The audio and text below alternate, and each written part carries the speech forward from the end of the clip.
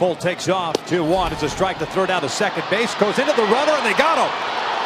Quick tag by Erick Aybar and no challenges left for Bob Melvin. Yeah, Sam Fuld can look up into the dugout, but it doesn't matter at this point. A perfect throw from Chris Iannetta.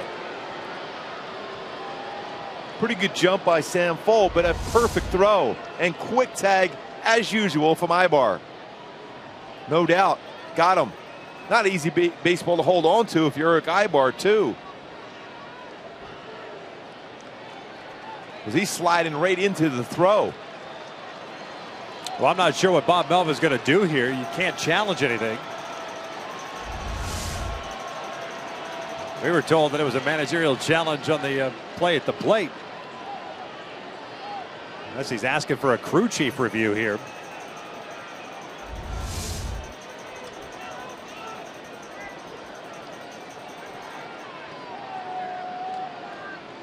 Maybe because of the bobble of the baseball. That's what it, maybe the discussion's going to be.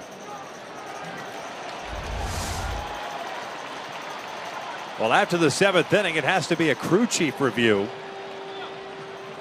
And uh, I think Mike Scioscia wants a yeah an explanation. That's what he's saying. It's uh, it is a Bill Miller telling Mike it is an umpire review. Fans, this is a crew chief they don't have to review this play. Interesting.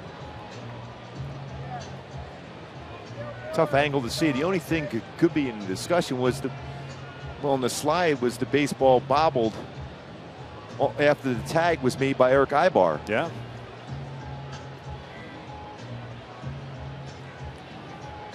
And the throw in there, it looks like at that point he's got him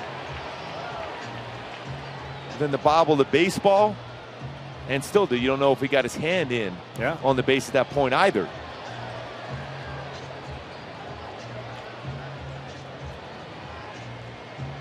So this is a crew chief review, an umpire review.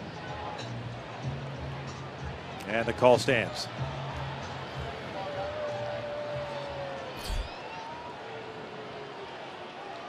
Still, what a perfect throw by Chris